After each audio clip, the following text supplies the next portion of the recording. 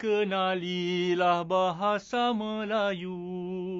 Cintailah bahasa Melayu. Cik, wah. Macam mana, okey? Assalamualaikum, salam sejahtera kepada adik-adik yang abang sayangi. Adik-adik akan bersama abang, Abang Sofian. Apa? Abang Sofian. Dalam episod kali ini dan episod akan datang, abang akan terangkan jenis-jenis ayat yang terdapat di dalam bahasa Melayu. Episod kali ini, abang akan terangkan ayat penyata. Ha? Apa? Ayat penyata.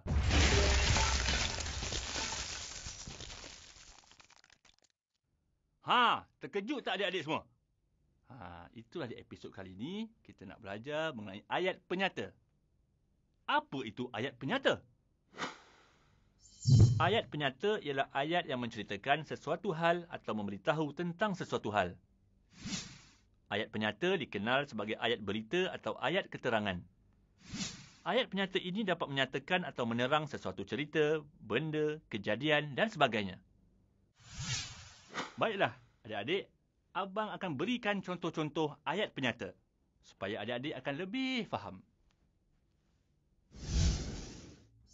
Industri automobil telah mengalami penguncupan ketika ini. Penswastaan penjagaan kesihatan membebankan masyarakat miskin. Ledakan teknologi maklumat mencetuskan era baru telekomunikasi.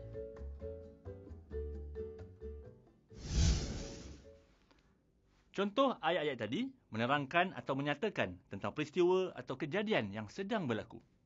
Ayat penyata ada beberapa jenis iaitu ayat transitif dan ayat tak transitif. Ayat transitif ialah ayat yang mengandungi kata kerja transitif iaitu diikuti oleh frasa nama atau frasa komplement sebagai objek atau unsur yang menyambutnya. Ayat tak transitif pula ialah ayat yang tidak mempunyai objek sebagai penyambutnya.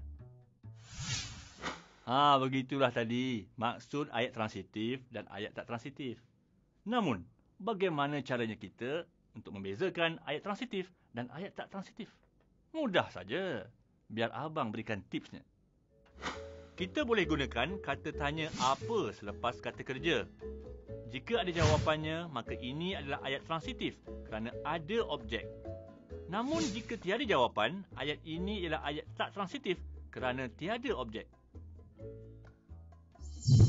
Contohnya, sebelum memulakan kajian, para pelajar mengisikan air ke dalam botol. Para pelajar mengisikan apa? Ayat ini ada jawapannya iaitu air ke dalam botol. Oleh itu, ayat ini ialah ayat transitif. Contoh ayat kedua ialah hari masih awal lagi. Hari masih awal lagi apa? Kalau tiada jawapannya, maka ayat ini ialah ayat tak transitif. Ha, macam mana adik-adik? Mudah saja kan?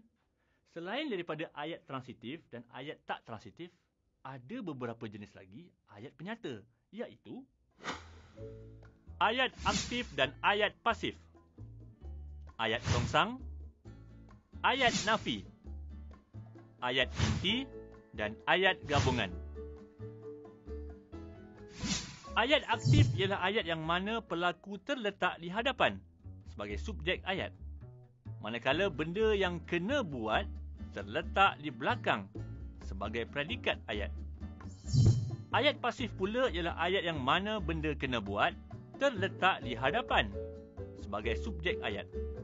Manakala pelaku terletak di belakang sebagai predikat. Adik-adik, macam mana cara kita nak kenal ayat aktif dan ayat pasif ini? Ha, tak kenal maka tak cinta. Bila dah cinta, huh, susah nak lupa. Baik, macam mana cara kita nak kenal ayat-ayat ini? Abang akan berikan tipsnya.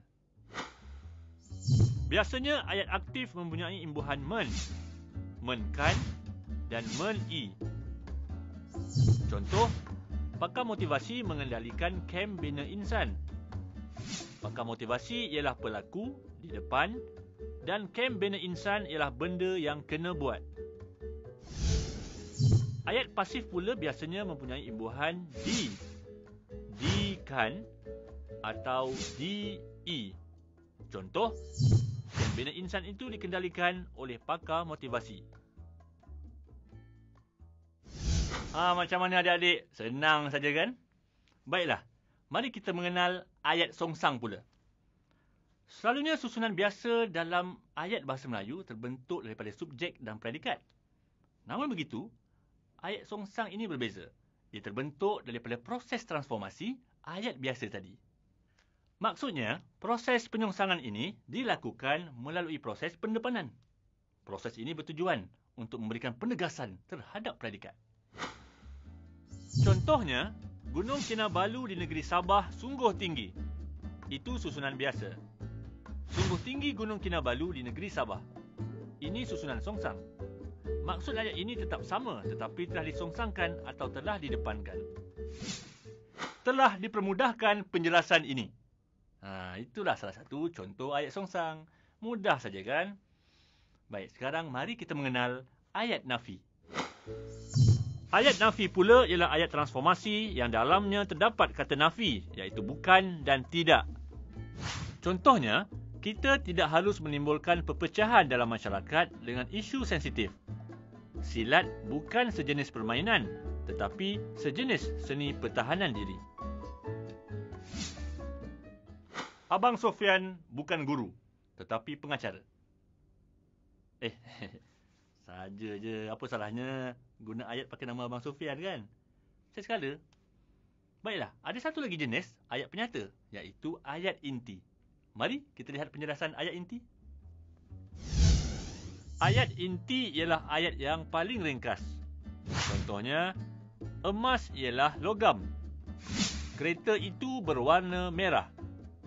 Rasa buah mangga ini sangat masam. Ih, mangga masam, mangga masam. Mangga masam ni kalau cecah sama belacan, tambah lagi cili api. Ui, kecoh lidah mangga masam. Eh, apa abang cerita mangga masam? Baiklah adik-adik. Apa kata kita mengenali pula satu lagi jenis ayat penyata iaitu ayat gabungan.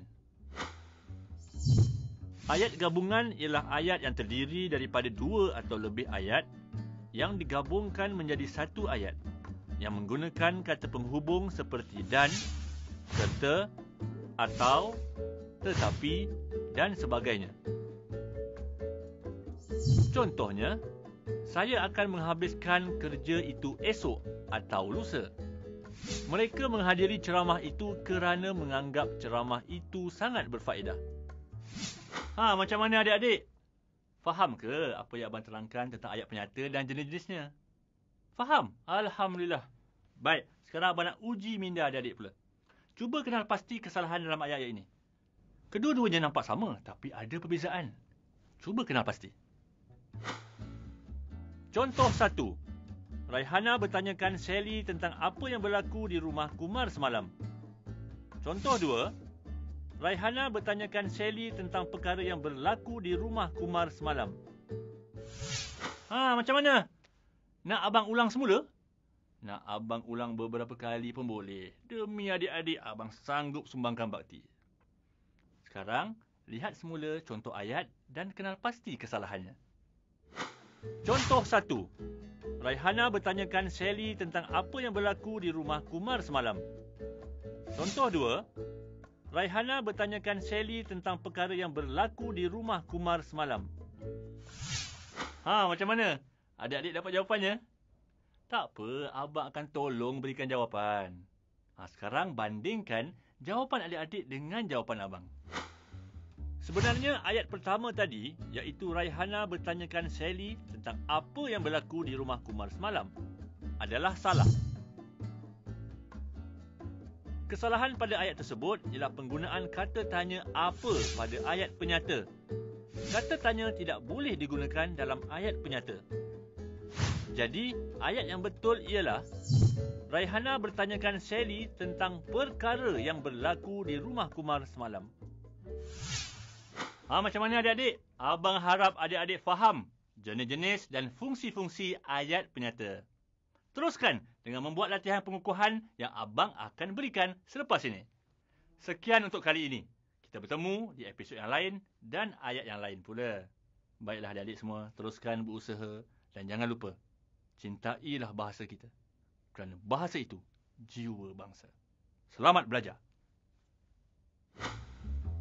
Soalan pengukuhan. Ayat penyata. Apakah yang dimaksudkan dengan ayat penyata? Nyatakan jenis-jenis ayat penyata. Bagaimanakah cara untuk mengenal pasti sama ada ayat tersebut adalah ayat transitif atau ayat tak transitif?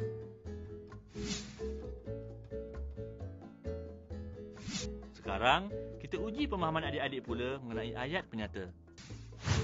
Kenal pasti kesalahan yang terdapat dalam ayat-ayat yang berikut.